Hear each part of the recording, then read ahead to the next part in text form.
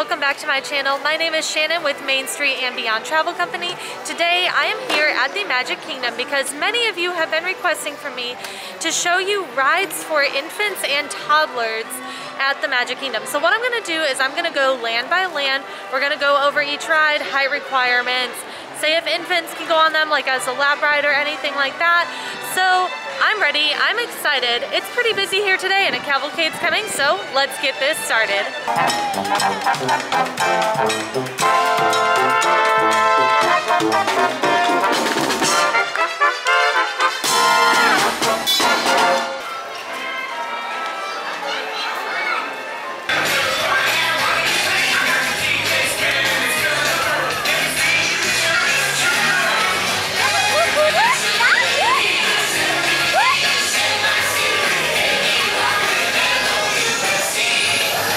Right, after walking down Main Street USA, we took a left and we're heading into Adventureland here. There's gonna be a few rides here actually that are really good for kids. They do have the Swiss Family Robinson treehouse your kids can climb up and play in if they want to. Jungle Cruise, you can take an infant on the Jungle Cruise or a toddler. Anybody can go on the Jungle Cruise if they want, just have to sit on your lap. Um, there's a couple other rides here. You have Aladdin's Magic Carpets, and you also have the Tiki Room and Pirates of the Caribbean. Tiki Room, I know for sure infants and kids and toddlers can go into, but we're gonna check on the other. All right, we have made our way now over to Pirates of the Caribbean where I have confirmed toddlers, infants, anyone can go on Pirates of the Caribbean if they wish. So this is a great land because your little infants and toddlers and kids can go on everything. So head to Adventureland and they can go on all the rides. All right, so we have made our way from Adventureland, just kept walking through into Frontierland, and here's where we may hit a snag because this land has Splash Mountain and Big Thunder Mountain, which both have height requirements. I'll tell you about those shortly. Um, and then really there's not much else here. You can go see, however, the Country Bear Jamboree, where you can bring your infant into. So Frontierland, again, just the Country Bear Jamboree for infants, but we're gonna go check on those height requirements for Splash Mountain and for Big Thunder Mountain right now. All right, made my way over to Splash Mountain in Frontierland where I can confirm the height requirement for this ride is 40 inches. So I would say smaller children and up. I wouldn't say, in, well definitely not infants and toddlers, probably a no for this ride.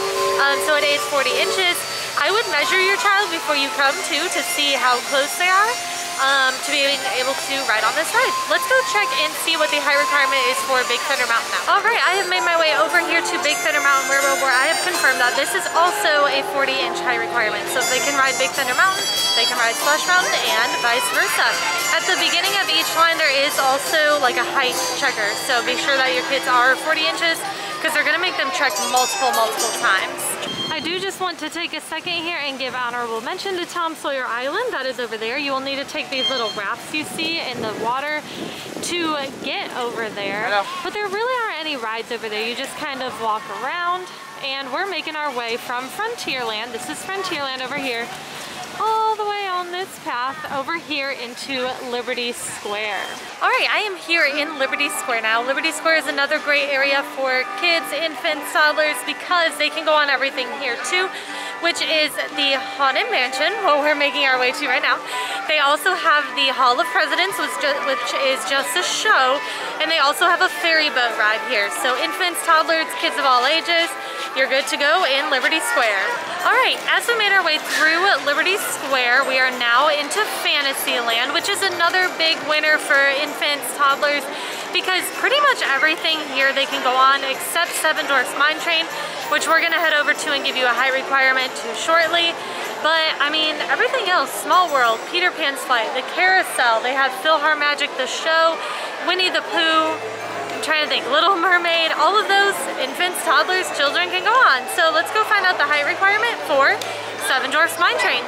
All right, made our way over to Seven Dwarfs Mine Train where the height requirement is 38 inches here. So again, um, probably like older toddlers or smaller children can go on this ride, but definitely not infants. All right, the only thing we pretty much have left now is going to be Tomorrowland. Um, and then of course um, the Storybook area, which Dumbo, um, kids can go on Dumbo.